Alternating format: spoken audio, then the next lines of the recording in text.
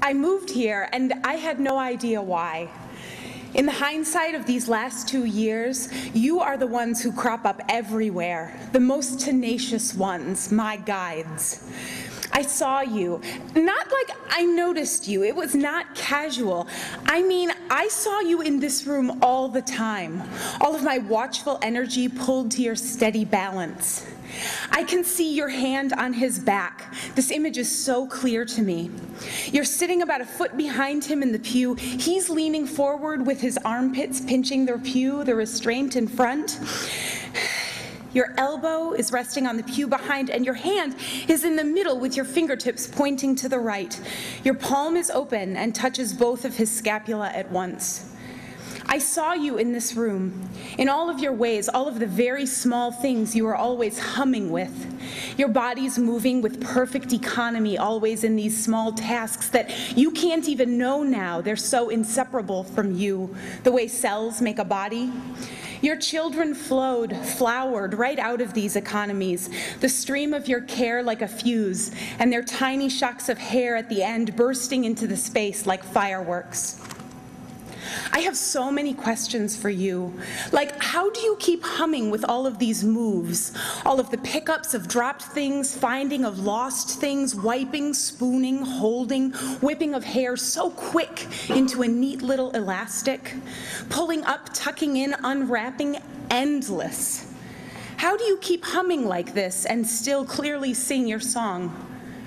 How did you trust the long line of that fuse, your care? Because that fire, it smolders on the line, taking forever to make that burst of color, that firework, work, so very much work, which sometimes, best ones, feels like steady and consistent and purposeful and love and fullest fullness, but other times feels like monotony and numbness and an endless ebbing away. I have watched you looking exhausted in a million different ways, have cataloged the differences between your tiredness that comes from stress or sickness or sleeplessness or loneliness. But still, there is that hum and that smoldering work burning along that fuse, braiding and lighting and stoking in this sort of wild and unimaginable sustenance. I see you masterful, strong, and flexible. The hum is steady and it's just right. And in the same way that I now notice the telltale swaying of whose hips have held somebody, your hum is part of this wider secret thing. I saw it and it consumed me, first taking root in my mind before I knew what pulled me, and later a knot in my guts. Ida, my initiation, my amazing membership.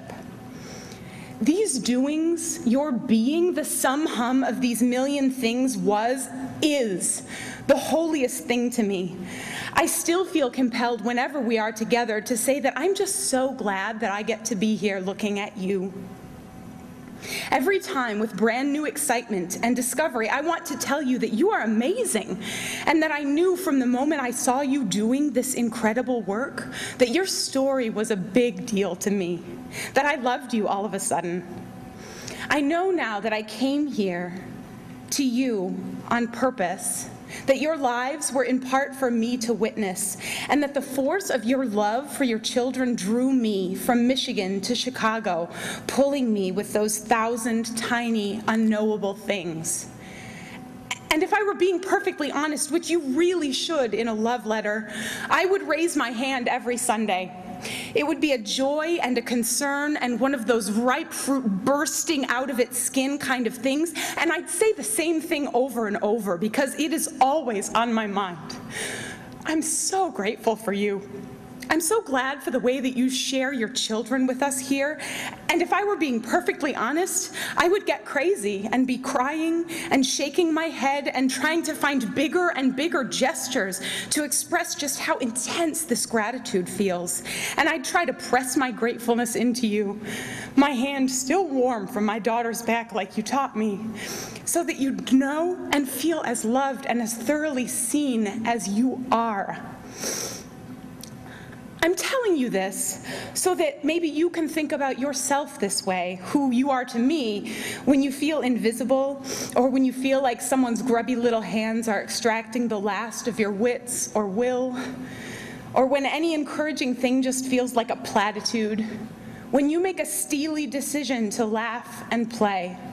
When you deeply, not as a punchline, but deeply want to eat candy in the bathroom with the door closed when the luxury of that is real and not at all sad. So, all of this to say that I love you ferociously, and that to me, there is no ebbing away of you, but only flourishing.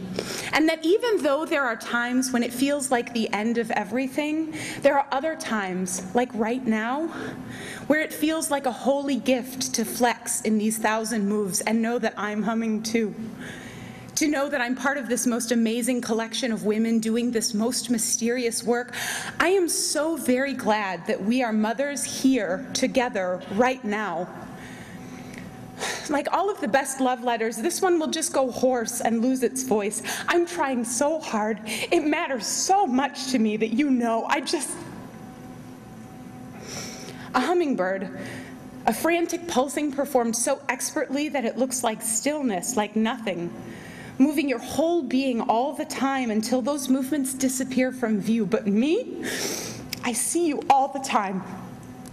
And I will always hold on to you and count myself blessed, ears tuned to your incredible hum.